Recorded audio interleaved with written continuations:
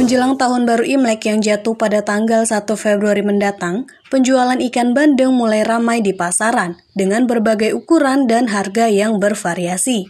Tahun baru Imlek yang tinggal menghitung hari, sejumlah pedagang musiman yang menjual ikan bandeng di Rawabelong mulai menjajakan dagangannya.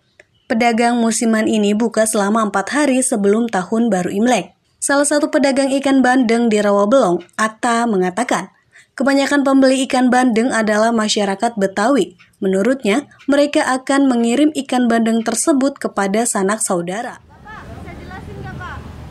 Kenapa? Mulai kapan Pak? Ini baru hari ini dagang.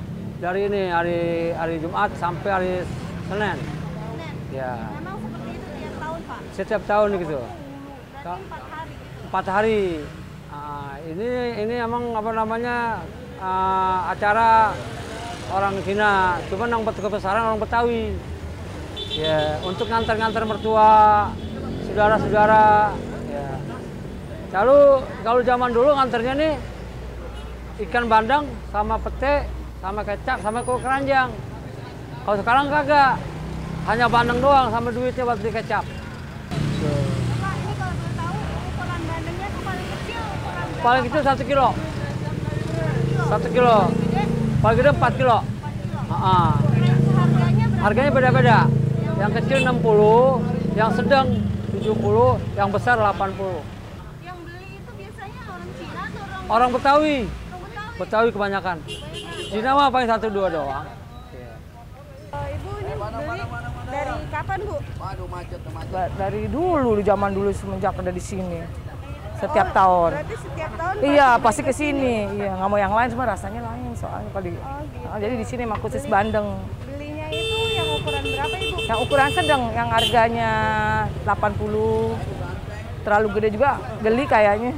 Sementara pedagang lainnya, Abdul Khair mengatakan harga ikan bandeng dipatok mulai dari 70.000 hingga 250.000. Meski demikian, penjualan ikan kali ini tak seperti tahun sebelumnya, lantaran masih dalam kondisi pandemi, omset jualan menurun. Bisa dijelasin nggak Pak? Oh iya, ini itu ukuran berapa sih yang dibeli? ini yang harus dibeli itu mereka ini ukurannya ukuran gede-gede semua. Paling kecil itu ukurannya sekilo. Ini yang mereka mereka beli itu ukurannya 2 kilo sampai 3 kilo. Yang sekilo harganya berapa Pak? Yang sekilo harganya 70, yang 2 kilo harganya 80. Bapak tahu nggak sih Oh. ikan bandeng Imlek? Karena ini kan buat tahunan, setahun sekali gitu ya. Bukan bukan tiap hari, bukan ini kan dia tanamnya itu dari kecil nyampe setahun sekali. Jadi mereka ini bandeng musiman, macam musiman gitu. Bukan yang harian tuh paling yang kecil-kecil itu sekilo 4 atau 5 gitu ya. Paling gedenya sekilo 2.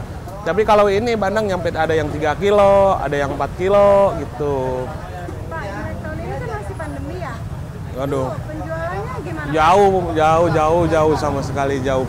Jauh omsetnya jauh sekali sama yang kemarin-kemarin. Biasanya kita dapat misalnya dapat seribu, sekarang paling dapat 700. Jadi hampir separohnya kita kali. Masyarakat Tionghoa meyakini ukuran ikan bandeng yang dibawa serta disajikan kepada orang tua saat perayaan Imlek memiliki arti.